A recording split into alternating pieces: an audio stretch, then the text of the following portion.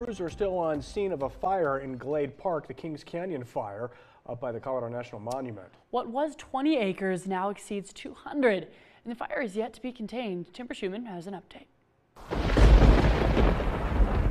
A lightning strike and a dry storm sparked a fire in Glade Park near the Utah border on Sunday.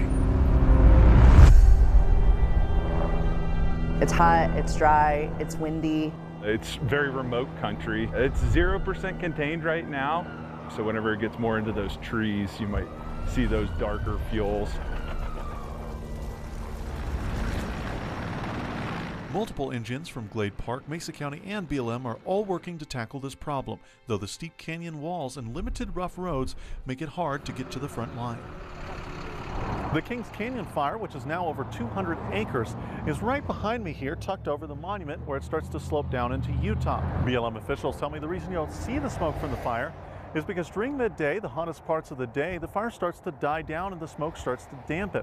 Now, that doesn't mean it's anywhere near contained. In fact, it's not right now. We even have our wildfire team deployed to a fire in another state to help out with them. Community outreach specialist Ellis Thompson tells me the Grand Junction Fire Department worries about both a wildfire approaching homes and a house fire turning into a wildfire, especially with some of the resources already expended across the country. Yesterday, we had a fire along the interstate, several fires from a truck being towed that blew a tire.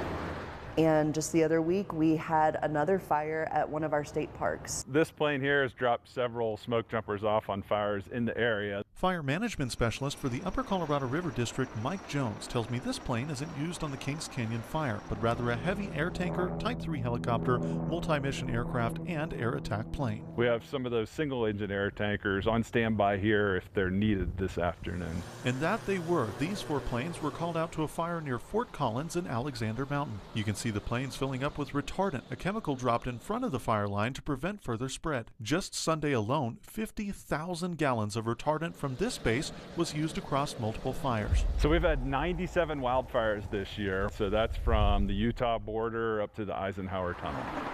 Grand Junction locals tell me it's all too easy to notice the landscape burning around us. It makes it really hard to breathe when you have trouble breathing anyway, and there's nothing we can do about it until it rains, which is not happening right away. It makes the air look gross some days. It's kind of hard for me because I have a breathing problem. Are you nervous about any fires creeping into town, or do you feel like it's going to stay more on the outskirts? More than likely, I think it'll stay on the outskirts, but you know, it's destroying our beautiful land. So we would like people to prepare, clear out vegetation, dead dried needles, things like that that could catch on fire. The first five feet of a home being fire free. As for the Kings Canyon fire, no property threatened at this point. Timber Schumann, KREX.